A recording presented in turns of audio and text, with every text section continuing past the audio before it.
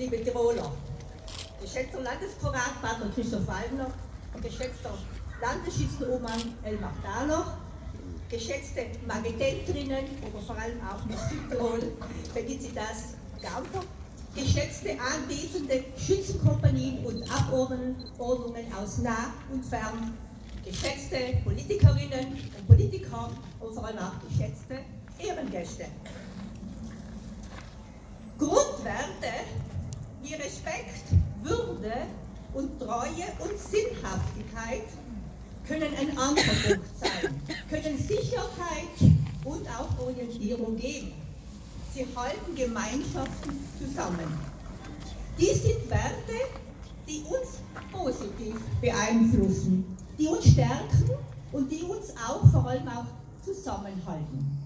Andreas Hofer hat in meinen Augen viele dieser Werte auf seine Person vereint.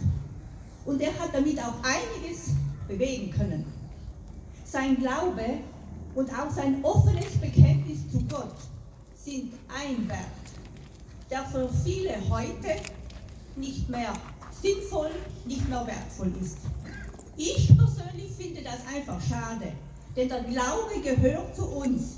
Er hat unser Land und er hat auch unsere Kultur damit auch stark geprägt. Und es braucht auch weiterhin Menschen, die an ihm festhalten.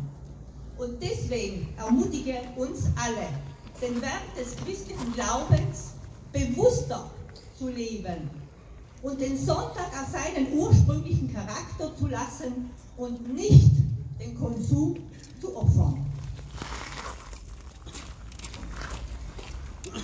Auch die Heimat war für Andreas Hofer ein großer Wert, die er versuchte mit allen Mitteln auch zu verteidigen. Und wir sollten es alle zu schätzen wissen, alle, die wir heute hier sind, eine Heimat zu haben. Eine Heimat, in der Frieden herrscht, in der wir alle offen unsere Meinung sagen dürfen und wo wir auch mitgestalten können und nicht um lebensnotwendige Dinge kämpfen müssen. Das, das ist ein Privileg, das wenige auf der Welt haben. Und dafür müssen wir auch mal unseren Ahnen danken, die sich dafür eingesetzt haben und oft dafür auch mit ihrem Leben bezahlt haben.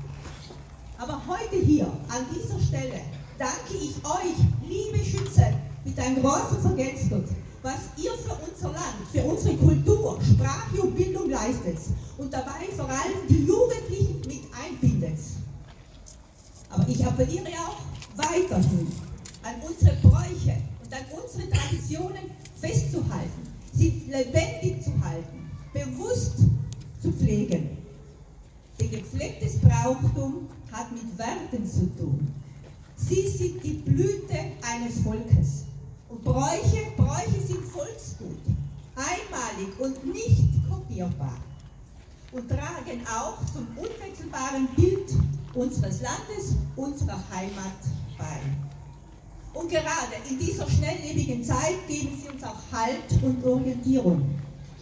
Und bei dieser rasanten Globalisierung brauchen wir nicht mehr Vorschriften, sondern Vorbilder. Vorbilder. Menschen, die, die sich nach diesen Werten orientieren. Und ihr, ihr liebe Schützen, ihr seid ein gutes Beispiel dafür und bleibt es auch weiterhin. In diesem Sinne ein großes Vergelt's Gott, macht's weiter so und alles Gute für die Zukunft.